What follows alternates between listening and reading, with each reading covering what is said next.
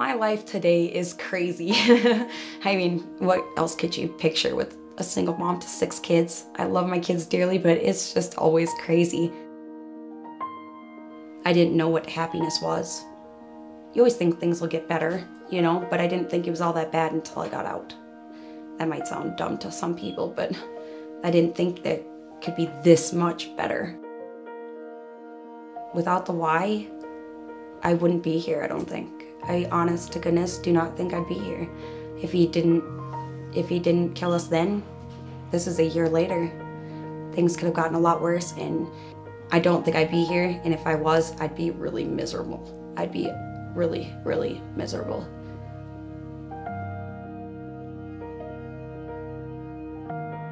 My name is Kimberly Kaufman. I am a single mom to six children. I go to school for special education and elementary education, and I work at TL Childcare as a supervisor of the toddler room. About 10 years ago, I started seeing um, my ex-husband, and there were obvious signs of things to run from, but not to me. But now looking back, it's pretty obvious. He started cheating, then the abuse started coming in more and more from physical to sexual to definitely emotional. I think emotional was some of the hardest of it all. Got worse and worse. The sexual abuse got really, really bad, and I'd beg and plead for him to stop.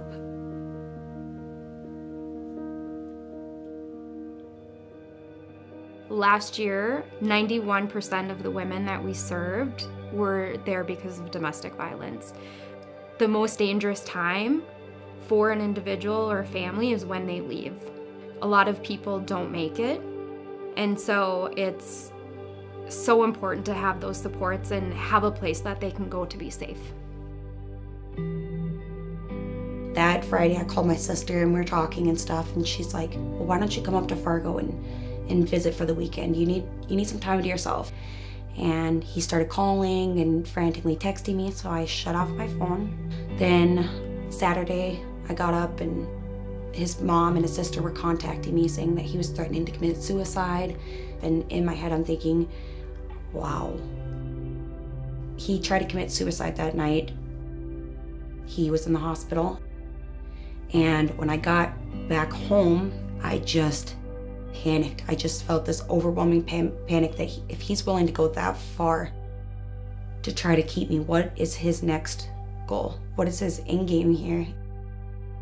I remember seeing on the news about this wife that her and her kids got killed from their dad, and that just kept playing over and over in my head. And I was thinking, is he gonna come home and kill all of us? I didn't know, and I was terrified. So I made one phone call up to the YWCA and I told them what was going on and I said, I don't know if you guys can help me. I'm out of state. And I was just bawling, can you guys please help me? I need out of here. And they were like, we have a room for you if you can be up here by midnight. We have a spot for you.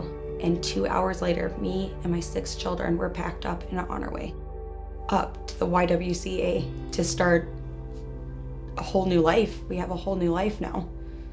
And I cannot thank them enough for giving us this opportunity. I really can't. The YWCA helped me build me and not into somebody new, somebody that was already there that I didn't realize was there. I didn't realize I was there anymore. And then slowly those pieces of me started coming out. For once, I love who I am. For once, I love every bit of me, every bit of my life. And that's amazing. That's really amazing. This Giving Hearts Day, your gift of $44 will provide one woman with safety, meals, and caring support. By donating to the YWCA, you can help women like me gain independence, confidence, and most importantly, hope.